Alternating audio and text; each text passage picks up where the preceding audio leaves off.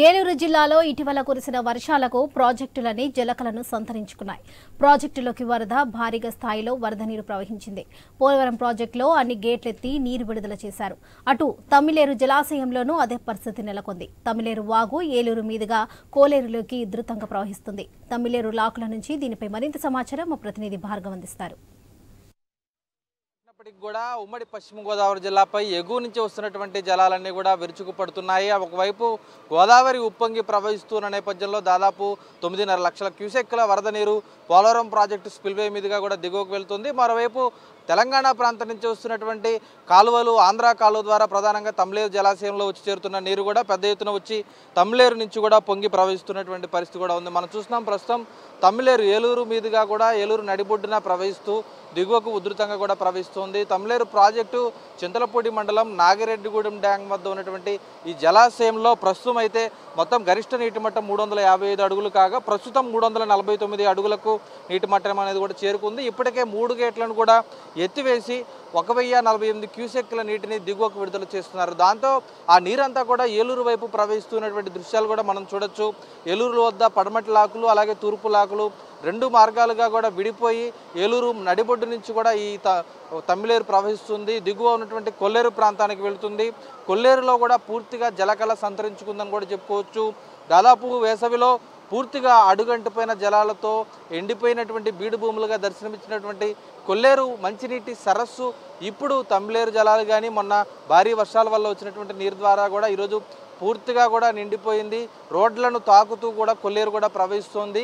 ఇక మరోవైపు గోదావరి కనుక చూసుకుంటే ఎగువ నుంచి అటు భద్రాచలం వద్ద కాస్త తగ్గుముఖం పట్టినప్పటికి కూడా ఉపనదుల ద్వారా ఇంకా కాస్త ప్రవాహం కొనసాగుతూనే ఉంది. అయితే రెండు రోజులుగా క్రమేపీ స్వల్పంగా గోదావరి తగ్గుముఖం పడుతూ వస్తుంది. ప్రస్తుతం పోలవరం ప్రాజెక్టు స్పిల్వే వద్ద ముప్పై రెండు పాయింట్ ఒకటి ఒకటి సున్నా మీటర్ల నీటి మట్టం అనేది కూడా ప్రస్తుతం గోదావరి నమోదవుతుంది. దీంతో స్పి- స్పిల్వేలో ఉన్నటువంటి మొత్తం నలభై ఎనిమిది గేట్లను కూడా ఎత్తివేసి దాదాపు తొమ్మిది లక్షల క్యూసెక్ల వరద జలాలు దిగువకు విడుదల చేస్తున్న పరిస్థితి కూడా ఉంది. ఇంకా గోదావరి చుట్టుముట్టిందని కూడా చెప్పుకోవచ్చు. ఇంకా వెడలేదని కూడా చెప్పుకోవచ్చు. అటు కుక్కునూరు మండలంలో కానీ వేలేరుపాడు మండలంలో కానీ దాదాపు పదిహేను రోజుల నుంచి కూడా వరద ప్రభావం అనేది అనేక గ్రామాలను వణికిస్తోంది. ఈ మధ్య కాలంలో పెదవాగుకు పడ్డటువంటి గండి ప్రభావంతో పన్నెండు గ్రామాలు ముంపు గురి కాగా ఆ గ్రామాల్లో ఇంకా కూడా కోలుకోలేదని కూడా చెప్పుకోవచ్చు. దాదాపు నూట యాభై ఇళ్ళు ఆ ఒక్క గ్రామంలోనే నారాయణపురం నుంచి వెళ్ళేటువంటి వేలేరుపాడు మండలం ఏదైతే తెలంగాణ నుంచి ఆంధ్ర ప్రాంతానికి వస్తుందో ఆ వాగంతా కూడా పూర్తిగా ముంచేసిందని కూడా చెప్పుకోవచ్చు. అలాగే ఎగువ ఉన్నటువంటి ఏజెన్సీ ముంపు గ్రామాల్లో కూడా ప్రస్తుతం ఇంకా గోదావరి రహదారులపై నుంచి విడకపోవడంతో ప్రస్తుతం రహదారులన్నీ కూడా ప్రస్తుతం జలదిగ్బంధంలో చిక్కుకున్నాయి. ఇప్పుడిప్పుడే ఆ గ్రామాలు బయటపడుతున్న పరిస్థితి ఉంది. అయితే గోదావరి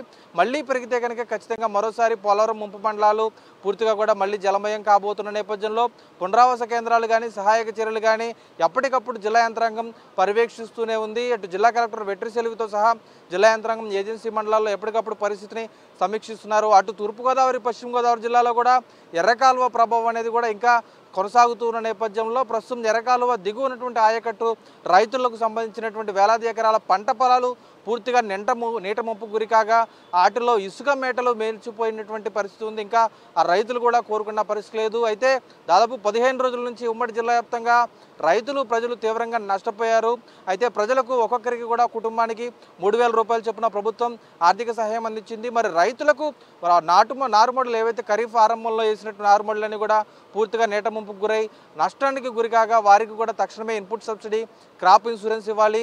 మళ్ళీ ఆలస్యం అయితే కనుక పంట విరామం ప్రకటించేటువంటి దుస్థితి ఉంటుందంటూ రైతులు ఆవేదన వ్యక్తం చేస్తున్న నేపథ్యంలో ఖచ్చితంగా ఏదైతే కేంద్ర రాష్ట్ర ప్రభుత్వం కానీ కేంద్ర ప్రభుత్వం కానీ రైతులకు ఇవ్వాల్సినటువంటి రైతుకు పెట్టుబడికి సాయం అనేది కూడా ఇంకా ఇవ్వలేదు కాబట్టి ఆ దిశగా అడుగులు వేయాలంటూ కూడా రైతులు కోరుతున్న పరిస్థితి అయితే కనిపిస్తుంది. మొత్తానికి మరికొద్ది రోజుల పాటు ఉమ్మడి జిల్లా వ్యాప్తంగా కూడా ప్రజలు కానీ అధికారులు కానీ అప్రమత్తంగా ఉండాల్సినటువంటి పరిస్థితి కూడా ఎగువ రాష్ట్రాల నుంచి వస్తున్నటువంటి జలాల నేపథ్యంలో ఉండాల్సినటువంటి పరిస్థితి కనిపిస్తుంది.